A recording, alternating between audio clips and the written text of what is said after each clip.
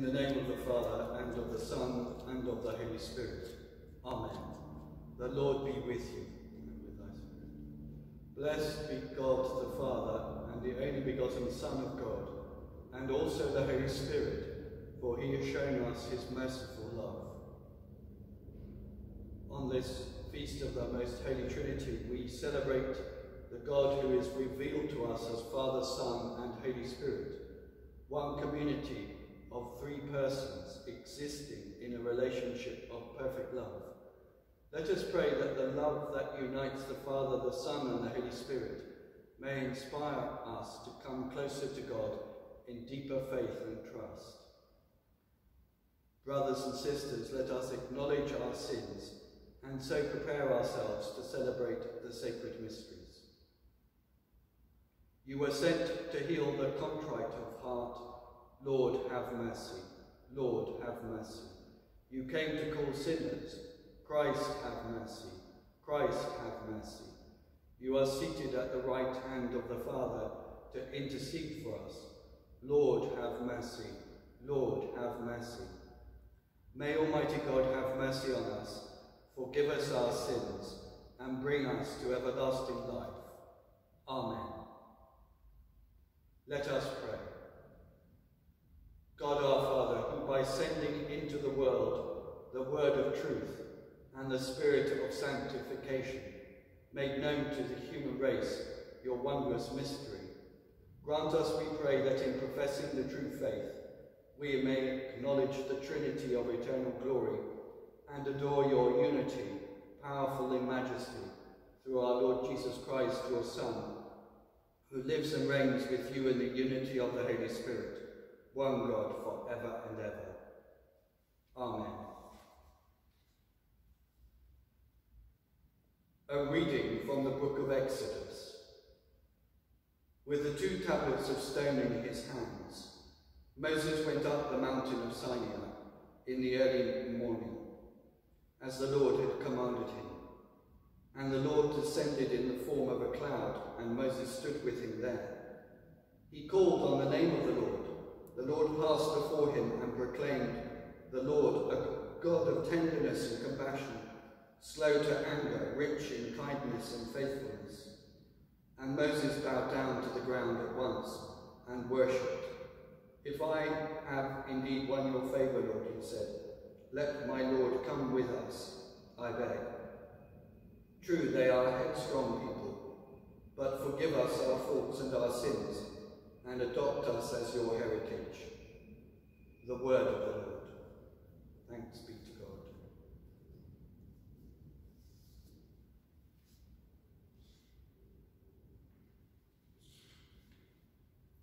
To you glory and praise forever.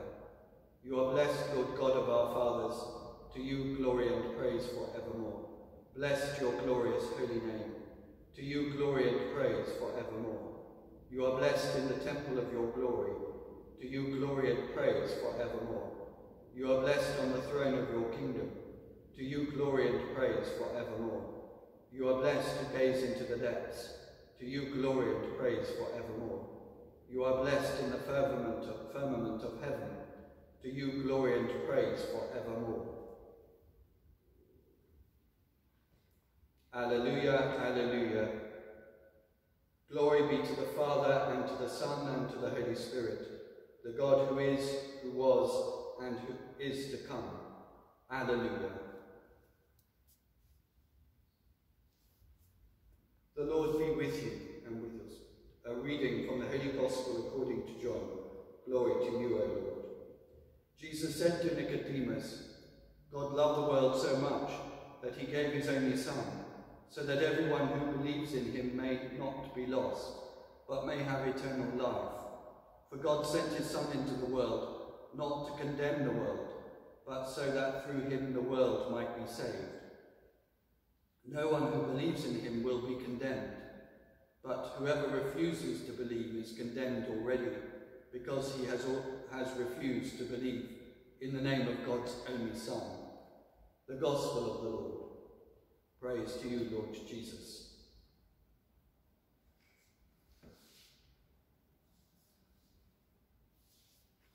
In the name of God, Father, Son, and Holy Spirit. Amen. The television has been a great vehicle in this lockdown world to take us away from the limits of our four walls, the limited engagement we have with the outside world. The television can take us to unimagined places and parts of the world and even out into space. But if for a moment we just stay with this one planet, the awesomeness of nature, of mountains and forests, of rivers and seas, can be overwhelming.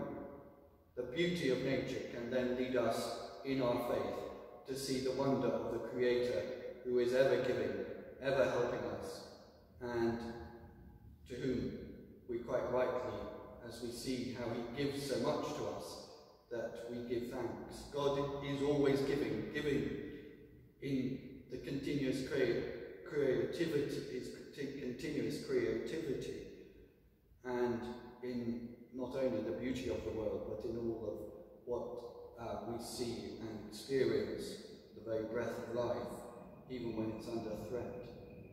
The mystery of the Trinity is the greatest and deepest mystery of our faith and something of the beauty of our faith as well.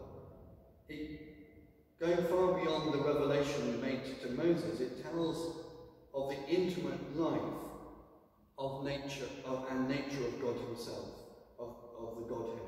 Father, Son, the Father and the Son love each other, and the Holy Spirit is that love, the love which unites all the persons of the Trinity.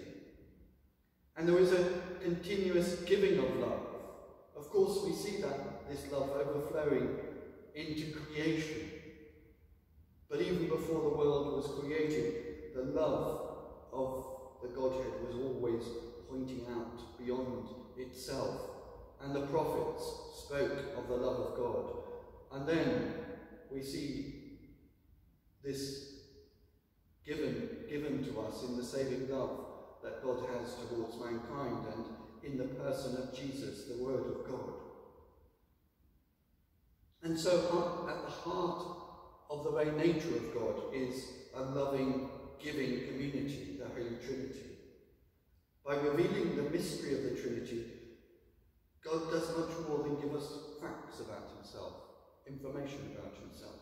He shows us and tells us about himself because he is love. And again, in Jesus, his very life speaks of God, speaks of the love of God. To see me is to see the Father. He wants us, God wants us to love him in return. And then we can be caught up into the very nature and share the very nature of his life. That is the great offering given to us in Jesus as he offers himself his, uh, in his humanity in sacrifice. And to see him is to see the Father. To see the love of Jesus is to see the love of the Father. We accept his offering by accepting Jesus, his only Son, accepting him into our lives. If we believe in Jesus, he will lead us to the Father. No one comes to the Father except by me. And so, through our baptism, we are united with Jesus. We're caught up because we come become part of that circulation of marvellous love, uniting Father, Son and Holy Spirit in the dance of their love. That is so awesome.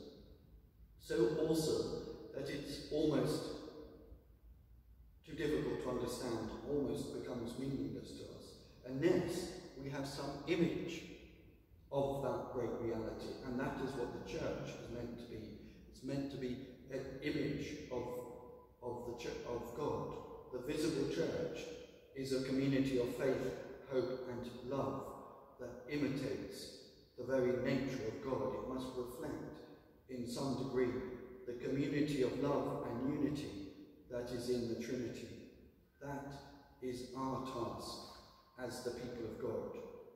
And we become most really this as we receive the sacraments and as we connect to the love of God in our prayers.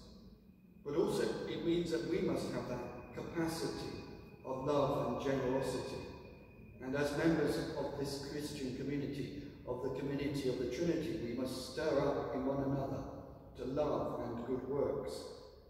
And that demands a great deal of loving and giving on our part. St. Paul appealed to the Corinthians to make the necessary effort. His appeal is relevant to every Christian community today, today, even when we are separated from each other.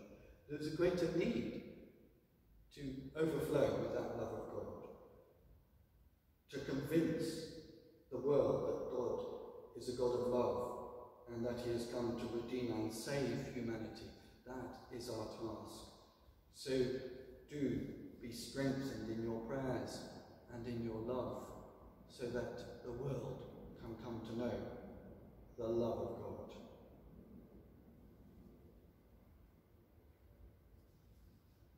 Confident God's love and compassion, let us present our prayers and petitions for ourselves and for our world. We pray for the Church, that she may grow in an ever deeper, deeper faith in God, Father, Son and Holy Spirit, that Christians may be united in a common faith in the Trinity and come closer together, strengthened by the Holy Spirit. And we pray that we may be an example of love and, and generosity to the world. Lord, in your mercy, hear our prayer. We continue to pray for this nation and for Elizabeth, our Queen, and her government, that they may be guided by justice and peace and for the good of all. We pray for an end of racism and all discrimination, and we pray for those who have been hurt by further discrimination, and we pray for justice for all. Lord, in your mercy, hear our prayer. We pray for our families and friends, for those with whom we live and those from whom we are separated, that the love of God may strengthen the bonds we have together. Lord, in your mercy, hear our prayer. We pray for the sick and the suffering, particularly those known to us, those affected by the coronavirus, either through um, their own illness or for the care, caring for others. And we particularly pray for those who work in the National Health Service and in our hospitals. Lord, in your mercy, hear our prayer. We pray for those that, who have died, that they may be caught up into the very eternal love of the Father, Son and Holy Spirit. We pray for the recently departed and for those whose year's mind falls at this time, for those who died with COVID-19 and other, other illnesses. Rest eternal grant unto them, O Lord, and let light perpetual shine upon them. May they rest in peace. We rejoice in the fellowship of St. Cuthbert and St. Matthias, our patrons, and our, with our Blessed Lady. Hail Mary, full of grace, the Lord is with thee. Blessed art thou among women, and blessed is the fruit of thy womb, Jesus. Holy Mary, Mother of God, pray for us sinners now and at the hour of our death. Father, hear the prayers we make in the power of the Holy Spirit, through your Son, Jesus Christ. Amen.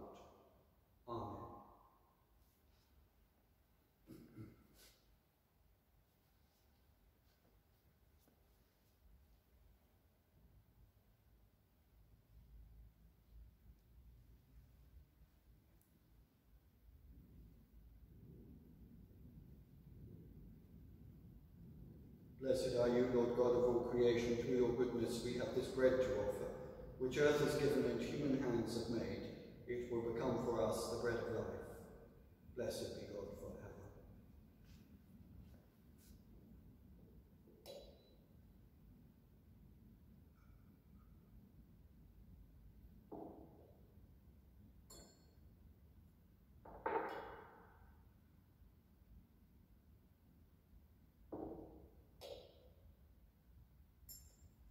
Blessed are you, Lord God of all creation, through your goodness we have this wine to offer, fruit of the vine and work of human hands. It will become our spiritual drink. Blessed be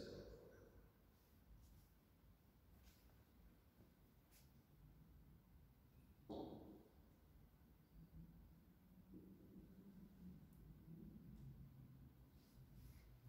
Pray, my brothers and sisters, that my sacrifice and yours may be acceptable to God the Almighty Father. May the Lord accept the sacrifice at my hands to the praise and glory of his name, for our good and the good of all his holy church. Sanctify by the invocation of your name, we pray, O Lord our God, this oblation of our service, and by it make of us an eternal offering to you, through Christ our Lord. Amen. The Lord be with you. Lift up your hearts, we lift them up to the Lord. Let us give thanks to the Lord our God. It is right and just. It is truly right and just, our duty and our salvation, always and everywhere to give you thanks, Lord, Holy Father, Almighty and eternal God. For with your only begotten Son and the Holy Spirit, you are one God, one Lord, not in the unity of a single person, but in a trinity of one substance. For what you have revealed to us of your glory, we believe equally of your Son and of the Holy Spirit, so that in confessing of the true and eternal Godhead, you might be adored in what is proper to each person, their unity in substance, and their equality in majesty. For this is, this is praised by angels and archangels, by cherubim too and seraphim, who never cease to cry out each day, as with one voice they acclaim, Holy, holy, holy, Lord God of hosts. Heaven and earth are full of your glory. Hosanna in the highest. Blessed is he who comes in the name of the Lord. Hosanna in the highest. Yes, Lord, you are holy. You are kind to us and to all. For this we thank you. We thank you above all for your Son, Jesus Christ. You sent him into this world because people had turned away from you and no longer loved each other. He opened our eyes and our hearts to understand that we are brothers and sisters and that you are Father of us all. He now brings us together to one table and asks us to do what he did. Father, we ask you to bless these gifts of bread and wine by the power of the Holy Spirit and make them holy. Change them for us into the body and blood of Jesus Christ, your Son. On the night before he died for us, he had supper for the last time with his disciples. He took bread and gave you thanks. He broke the bread, gave it to his disciples, saying, Take this, all of you, and eat of it, for this is my body, which will be given up for you.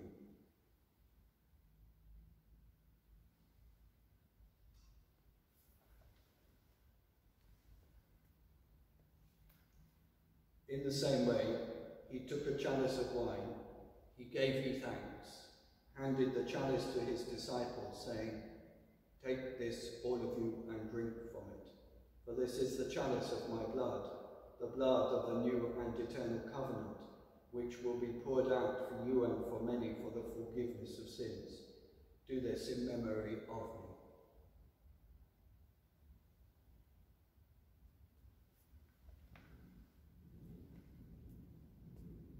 The mystery of faith. We proclaim your death, O Lord, and profess your resurrection until you come again. God our Father, we remember with joy all that Jesus did to save us. In this holy sacrifice which he gave as a gift to his church, we remember his death and resurrection. Father in heaven, accept us together with your beloved Son. He willingly died for us, but you raised him to life again. Jesus now lives with you in glory, but is also here on earth among us. One day he will come in glory, and in his kingdom there will be no more suffering, no more tears, no more sadness.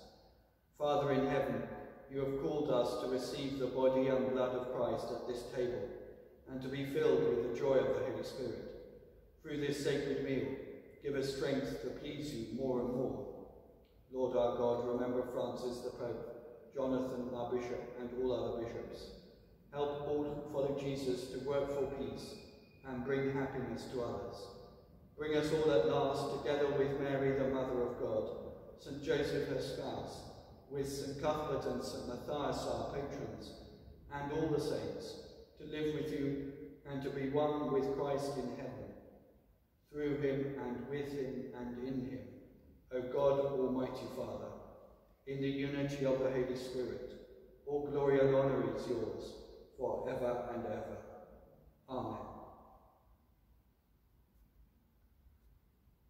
At the Saviour's command and formed by divine teaching, we dare to say, Our Father, who art in heaven, hallowed be thy name. Thy kingdom come, thy will be done, on earth as it is in heaven. Give us this day our daily bread, and forgive us our trespasses, as we forgive those who trespass against us. And lead us not into temptation, but deliver us from evil. Deliver us, Lord, we pray, from every evil. Graciously grant peace in our days, that by the help of your mercy we may be always free from sin and safe from all distress, as we await the blessed hope and the coming of our Saviour Jesus Christ. For the kingdom, the power, and the glory are yours, now and forever. Lord Jesus Christ, who said to your apostles, Peace I leave you, my peace I give you. Look not on our sins, but on the faith of your church, and graciously grant her peace and unity in accordance with your will, who live and reign for ever and ever. Amen. The peace of the Lord be with you always. Lamb of God, you take away the sins of the world, have mercy on us. Lamb of God, take away the sins of the world, have mercy on us. Lamb of God, you take away the sins of the world, grant us peace.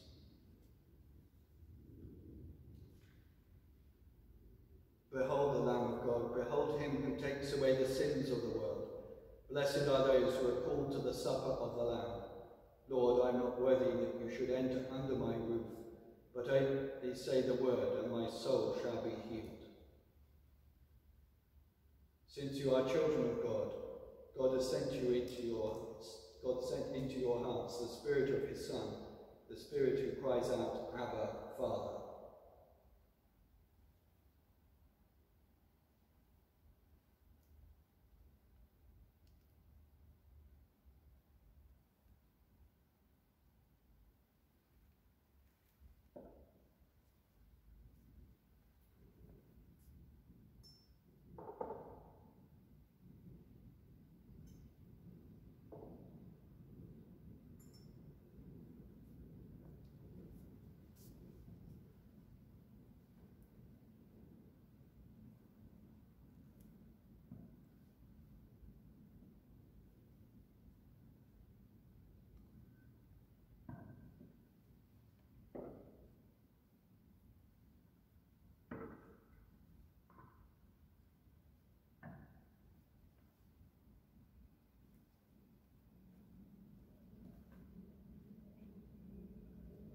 Let us pray.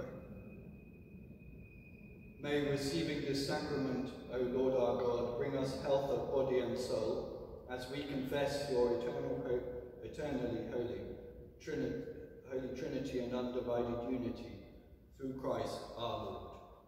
Amen.